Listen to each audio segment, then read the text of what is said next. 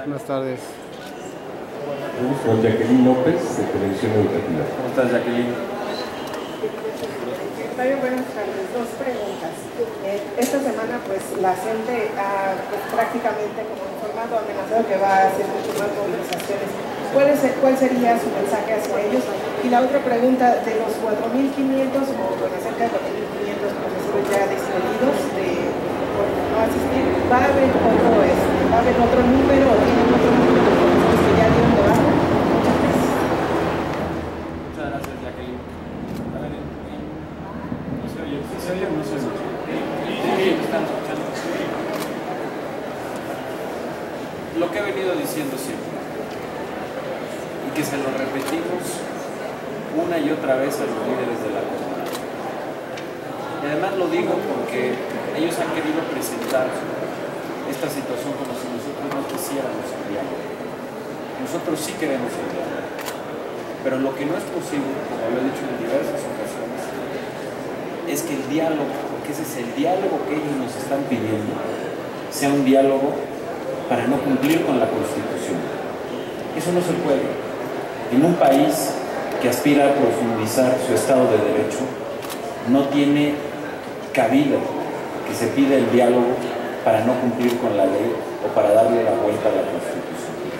Y además tampoco se puede pedir diálogo teniendo como renos a los niños de Michoacán, de Guerrero, de Oaxaca y de Chiapas. No se vale que no estén el 100% de las escuelas funcionando. Y por eso reiterar lo que he venido diciendo desde hace muchas semanas. Estamos abiertos al diálogo y si ellos realmente quieren diálogo, tienen que suceder dos cosas. Primero, que regresen a clases y que el 100% de los niños estén ya en sus aulas como debe de ser. Y segundo, tienen que aceptar la Constitución, reconocer que tienen, como todos los mexicanos, que cumplir con la Constitución y con las leyes y por lo mismo cumplir con la reforma educativa. Cuando estas dos cosas sucedan, yo seré el primero en sentarme a escuchar todas sus inquietudes y a que podamos platicar y buscar un diálogo a favor de la educación de estos estados. Pero reitero, no se puede pretender pedir diálogo teniendo como renes a los niños y a las niñas y pedir un diálogo para no cumplir con la Constitución. Eso es inadmisible y no puede suceder. Pero aquí reitero, sí estamos abiertos al diálogo cuando sucedan estas dos eh, condiciones. Que el 100% de los niños estén una vez más en las escuelas y segundo, que se reconozca el cumplimiento de la Constitución y de las leyes y por lo tanto de la reforma educativa. Es algo fundamental y elemental con lo que tienen que cumplir no solo los líderes de la coordinadora, sino todos los mexicanos. Así es que desde aquí la invitación a que no continúen, uno dejando a niños y a niñas, que eso me parece imperdonable, sin clases y sin su derecho a una educación de calidad. Pero segundo, que no sigan pidiendo un diálogo, afectando los derechos de terceros con manifestaciones, para pedir un diálogo en donde lo que quieren es que les permitamos no cumplir con la Constitución.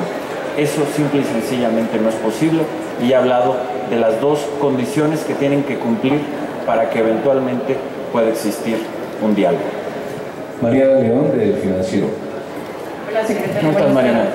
Eh, un par de cosas. Eh, Morena, si bien no ganó ninguna gubernatura en las pasadas elecciones, avanzó mucho como fuerza política y en algunos estados hasta es la segunda, digamos. Eh, en algunos eh, casos a nivel local también ganó municipios y otros, y, y- y otros eh, lugares.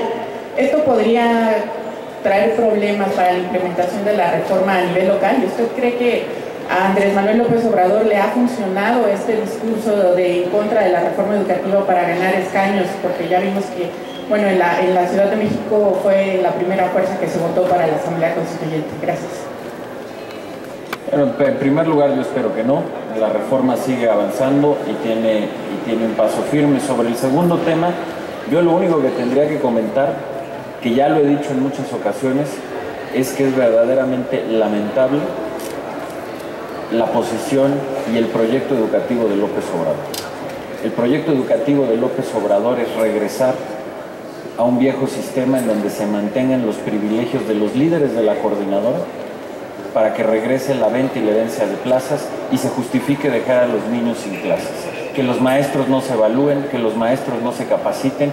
Ese es el sistema que él quiere regresar. Y me parece también inconcebible que pueda plantear una alianza con líderes que además de querer mantener estos privilegios, son líderes que piden o que intentan chantajear para no cumplir con la Constitución. Es decir, sus aliados son quienes abiertamente están pidiendo que se viole y no se cumple la Constitución. Esas son las alianzas de López Obrador, ese es su proyecto educativo, es lamentable. Me parece que un país, México y los mexicanos que queremos caminar hacia un nuevo país, con un sistema educativo de calidad, en donde el derecho de las niñas y de los niños a una educación de calidad sea primordial y central, no puede permitir que se pretenda regresar al viejo sistema, ni puede permitir que haya alianzas que lo que buscan es no cumplir con la ley y violar con la Constitución. Lázaro Tenorio, Lázaro, ¿cómo estás? Muy bien. Eh, la reforma educativa podría estar en la mesa de negociación cuando los dirigentes de la Coordinadora Nacional de Trabajadores de la Educación eh, van a solicitar a la SEP eh, 9.000 plazas para sus maestros que según, según ellos necesitan. Y otro punto, eh, los maestros que están en paros en la Ciudadela pues ya tienen muchos días. Yo creo que estos, ¿cuándo se tomarán en cuenta para darlos de baja por sus faltas? Muchas gracias. Bueno, en primer lugar, sobre el primer tema, reiterar, a ver, la reforma educativa bajo ninguna circunstancia está en negociación. La reforma educativa está en la Constitución y la reforma educativa está en las leyes y eso ya pasó por el proceso legislativo y no está a negociación de nada. Lo que aquí he dicho es que estamos abiertos al diálogo, a escuchar sus diversos puntos de vista, pero una vez que sucedan dos cosas, que regresen a clases y que acepten precisamente la reforma porque está en la Constitución, porque está en las leyes y por lo mismo, como todos los mexicanos tienen que cumplir con la Constitución y con las leyes. Entonces, la reforma bajo ninguna circunstancia está, eh, eh, bajo ninguna circunstancia está a negociación de ningún tipo. Reitero, el diálogo para escuchar inquietudes se dará cuando se cumplan estas dos condiciones. Regreso a clases y precisamente que se acepte la reforma y que al estar en la Constitución y en las leyes se tiene que cumplir.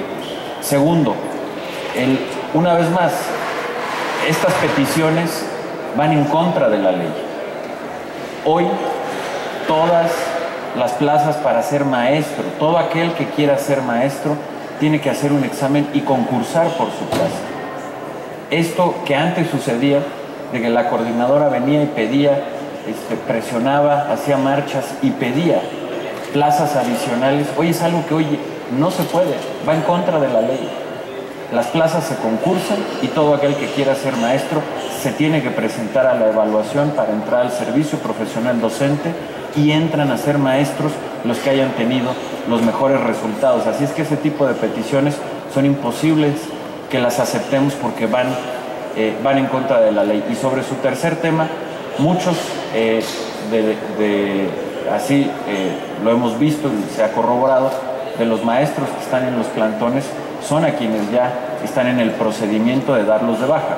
Reitero, este es un procedimiento que cumple también con la ley nosotros estamos buscando instaurar un Estado de Derecho, nosotros tenemos que cumplir también con la ley y este es un procedimiento que, como saben, inicia con la notificación al maestro, el maestro después tiene 10 días hábiles para responder y hasta que no suceda todo ese proceso, que en total, en número, en días efectivos, es alrededor de cuatro semanas, no podemos proceder a hacer efectiva la baja y hacer la sustitución del maestro. Entonces estamos en ese procedimiento pero eh, muchos de quienes están eh, hoy en el paro son quienes ya están en esa condición, es decir, ya están en el proceso de tener eh, esa sanción que ha sido muy clara y que la hemos anunciado, y por el otro lado también a las tácticas que está recurriendo ahora la coordinadora para no caer en la cuarta falta es que algunas de las manifestaciones o de la gente que mantienen en su plantón la están, la están rotando. Pero a pesar de ello nosotros seguimos haciendo un seguimiento con las autoridades locales puntual para que en caso de que encontremos más maestros que caigan en el supuesto de haber faltado más de tres días de manera injustificada, serán sumados a los 4.300 que ya hemos dado de baja por estar en esta condición. Gracias, Lázaro. Gracias, buenos días.